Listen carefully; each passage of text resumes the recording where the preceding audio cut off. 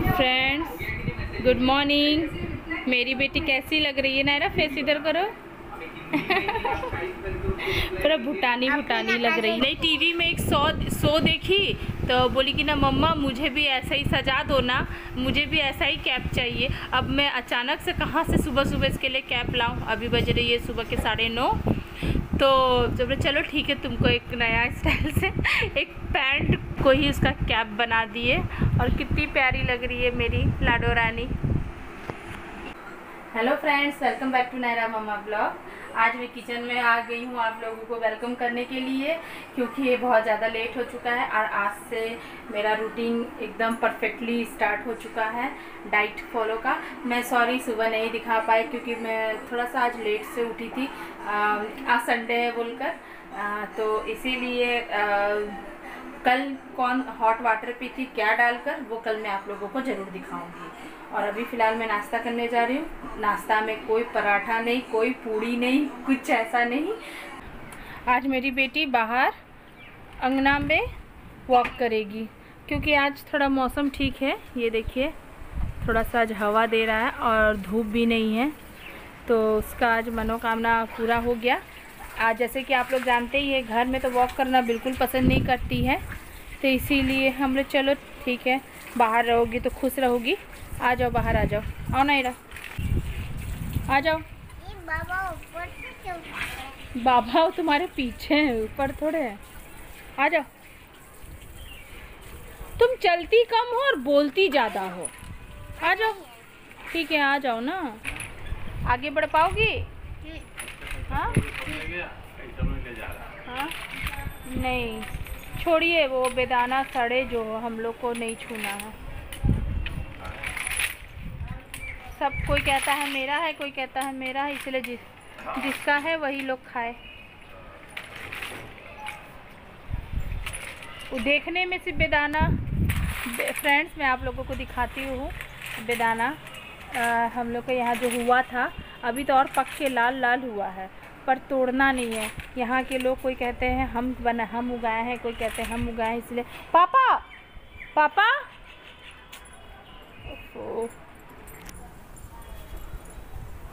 देख रहे हम यहाँ आप लोगों से बात कर रहे हैं और ये आगे आगे बढ़ गई है और देख लीजिए आगे में ड्रेन है।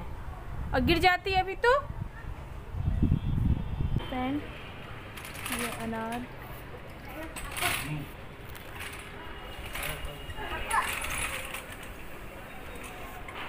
देखिए।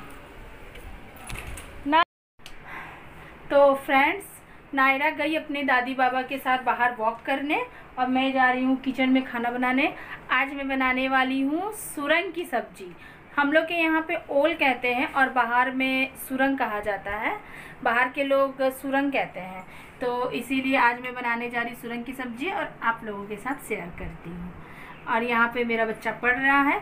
बेचारा संडे होता है फंडे पर एग्ज़ाम की वजह से हो रहा है। गंदा डे गंद डे तो चलिए ठीक है पढ़ो बेटा पढ़ो। एग्ज़ाम खत्म हो जाएगा फिर मस्ती करना। सब सब लोग पापा का आने का वेट कर रहे हैं कि मम्मी पापा कब आएँगे पापा कब आएँगे। शायद वो आने वाले हैं कुछ दिन में।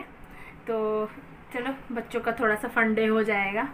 चलो ठीक है। चलिए अब मैं सुरंग की सब्ज़ी बनाने जा रही हूँ मतलब ओल की सब्ज़ी तो आप लोग ज़रूर वॉच करें। तो मेरा कोरियर से पार्सल आ गया है। अब मैं फ्री हो जाऊँगी तो फिर मैं आप लोगों को दिखाती हूँ कि इसमें क्या है। इसे कहते हैं सुरंग। तो सुरंग को मैं जैसे इसका सुरंग का छिलका उतार के आ, इसे पीस पीस इस तरह से मैं काट ली हूँ। ये थोड़ा अभी थोड़ा बहुत ज़्यादा हार्ड है ये। और इसको बॉईल कर लेना है कुकर में दो से तीन सीटी। तो चलिए बॉईल करके दिखाती हूँ। कढ़ाई में दो चम्मच तेल और एक आलू को मैं इस तरह से कट कर ली हूँ और इसे तेल में फ्राई कर लेना है।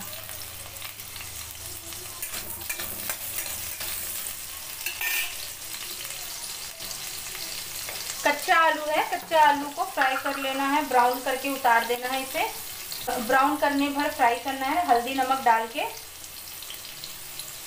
आपको जितना आलू लेना है आप अपने हिसाब से लीजिए, पर मुझे ज़्यादा आलू नहीं डालना है, इसलिए मैं सिर्फ़ एक ही आलू को कट करके इस तरह से तेल में फ्राई कर ले रही हूँ, ढक ढक के, कि थोड़ी सी पक भी जाए।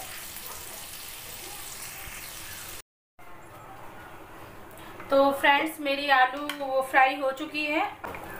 तो मेरी ओल भी बॉईल हो चुकी है दो सीटी में। अब इसको भी हल्दी नमक देके अच्छी तरह से फ्राई कर लेना है। हल्दी भी ज़रा सा देना है और नमक भी ज़रा सा ही देना है। क्योंकि हल्दी नमक फिर बाद में भी पड़ेगा और नमक आप अपना फिर बाद में स्वाद अनुसार दीजिएगा।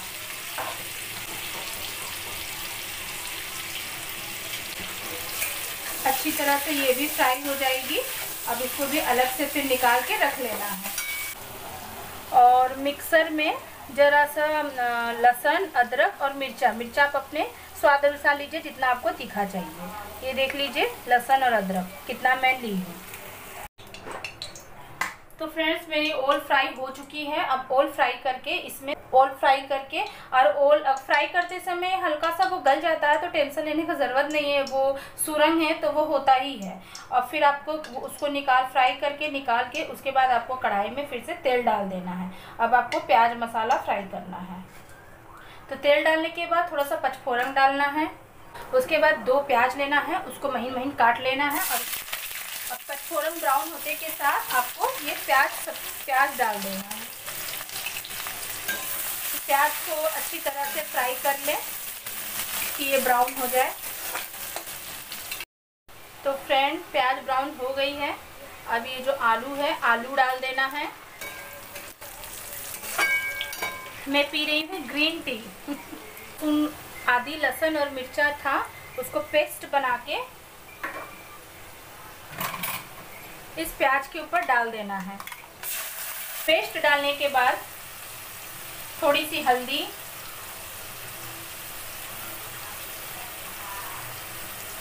धनिया, एक चम्मच। जीरा, आधा चम्मच। सब्ज़ी का एवरेज सब्ज़ी मसाला, एक चम्मच। कश्मीरी लाल कश्मीरी लाल मिर्च। हाफ़ चम्मच। अब इसे आप अच्छी तरह से फ्राई करें। अब ये फ्राई करते करते कुछ ही सेकंड बाद एक टमाटर बारीक बारीक काट लेना है और इसको इस मसाले में ही डाल देना है। उसके बाद फाइनली आप स्वाद अनुसार अपना नमक दीजिए कि जितना आप पहले नमक दिए थे, उस हिसाब से आप फिर अब बाद में कितना देना है उतना सोच के आप थोड़ा सा अब नमक फाइनल ये फाइनल नमक हो गया है, अब फिर नहीं देना है। अब आप लोगों को कम बेची लगे तो आप लोग ऊपर से दीजिए और इसको अच्छी तरह से फ्राई करिए। तो फ्रेंड्स मेरा मसाला फ्राई हो चुका है। अब इसके ऊपर ये सूरन डाल देना है, जो फ्राई करके मैं साइड में रखी थी। अब इसको डाल के अच्छी तरह से चला ले कि एक एक मसाला सूरन में भी अच्छी तरह से चली जाए। और उसी के साथ दो चुटकी गरम मसाला पीसा हुआ। आजकल तो पैकेट गरम मसाला मिलता ही है तो मैं पैकेट का ही गरम मसाला ली हूँ। दो चुटकी और इसको अच्छी तरह से फ्राई कर लें। और अगर आपके पास धनिया पत्ता है तो आप थोड़ा थोड़ा धनिया पत्ता का गार्निशिंग कर दीजिए तो बहुत ज़्यादा टेस्टी लगेगा। तो फ्रेंड्स मेरी सब्ज़ी तो बन के तैयार हो गई सुरंग की। आप लोगों के कहने पे सुरंग और मेरे यहाँ पे ओल। सब्ज़ी रेडी तो मैं मैं क्योंकि मेरे घर, में, मेरे यहाँ पे दाल भी बना है तो इसलिए मैं सब्ज़ी बिल्कुल सूखा रखी हूँ। अगर आप लोग इसको ग्रेवी टाइप का बनाना चाहते हैं तो आप पानी भी डाल सकते हैं। अगर फ्रेंड्स ऐसा खाएँगे तो बहुत ज़्यादा टेस्टी लगेगा। तो फ्रेंड्स ये मेरी सूरंग की सब्ज़ी या कहें ओल की सब्ज़ी मेरी बनके तैयार है। तो देखिए, बहुत सुंदर, बहुत ही ज़्यादा स्वादिष्ट ओल की सब्ज़ी बनी थी। मम्मी को, पापा को, मेरे बच्चों को बहुत ही ज़्यादा पसंद आया था। बस मैं ही ज़्यादा नहीं खाई थी क्योंकि अभी तो फ़िलहाल मैं डाइट में इसीलिए। तो लेकिन हाँ मेरा फेवरेट है तो मैं थोड़ा सा तो ज़रूर ली थी। और आप इसे रोटी के साथ खाइए, पूड़ी के साथ खाइए, चावल के साथ खाइए, जिसके साथ भी खाइए, बहुत ही ज़्यादा टेस्टी लगा था। और प्लीज़ फ्रेंड्स अगर आप लोगों को पसंद आए तो लाइक सब्सक्राइब शेयर ज़रूर करें इस सब्ज़ी को देख के। तो फ्रेंड्स अभी हो रहा है रात शाम का साढ़े सात बज रहा है अभी। तो मम्मी पापा को आ, मम्मी पापा को अचानक से अब लिट्टी और बैगन का चोखा खाने का मन किया। तो मम्मी कहे कि लाओ हम सारा तैयारी कर देते हैं तुम फट से लिट्टी और बैगन का चोखा बना लो। तो चलो अब मम्मी पापा को खाने का मन करे तो क्यों ना बनाऊँ? और मेरा काम ही क्या है? बस सबको खिलाना खुद खाना अच्छा अच्छा। तो फिर मैं ठीक है मम्मी। तो लेकिन अब मैं इसका रेसिपी आप लोगों के साथ शेयर नहीं कर सकती क्योंकि कल मंडे है, मेरा बच्चों को सुबह उठना है और इसके मुझे भी उठना है तो लेट हो जाएगा। फ्रेंड्स ये देखिए बन रहा है लिट्टी। अब गर्मा गर्म मम्मी पापा को खिलाऊं और बच्चों को भी खिलाऊं। बच्चे उतना ठीक से नहीं खा पाते हैं तो उन लोग के लिए सत्तू भर के पराठा बना देती हूँ और थोड़ा थोड़ा बच्चे भले टेस्ट कर लेंगे। और मैं नहीं खाने वाली हूँ, मैं खाने, में खा चुकी हूँ ओट्स। में लिट्टी बनाने के एक घंटा पहले ही मैं ओट्स खा चुकी हूँ। हाँ अगर मम्मी जिद करेगी तो मैं आधा खा लूँगी। तो फ्रेंड्स पापा तो बहुत मन से खा रहे हैं बैगन का चोखा और लिट्टी, क्योंकि पापा का भाई ये बिहारी मतलब यूपी साइड का ये फेवरेट फ़ूड है, जो पापा बचपन में बहुत ज़्यादा ही खाते थे। लेकिन आजकल का तो फ़ैशन चला है कि बर्गर पिज़्ज़ा मोमो, चाउमीन तो इसके आगे ये सब इंसान भूल गए हैं। पापा को बहुत पसंद है तो पापा बहुत मन से खा रहे हैं। तो अब ये मैं नायरा को लेने जा रही हूँ, क्योंकि अब बज रहे हैं रात के दस। अब मैं फटाफट सो जाऊँ, क्योंकि सुबह उठना है। तो नायरा को कह रही हूँ कि सोने चलो। तो नायरा रानी बैठी है हाथ में मोबाइल लेके। वो पलंग और टी टेबल का डिस्टेंस देखे ना आप लोग, वहाँ से टी टेबल से मोबाइल लेके ये देखिए स्टार्ट करके मोबाइल देख रही है। तो अब इसको मैं सुलाऊं। तो चलिए फ्रेंड्स, कल फिर मिलते हैं। Good night, sweet dream. आप लोग भी अच्छे से सोएँ और सब स्वस्थ रहें। और मेरी वीडियो को आप लोग खूब पसंद करें और आप लोग प्यार दें अपना। Bye, good night.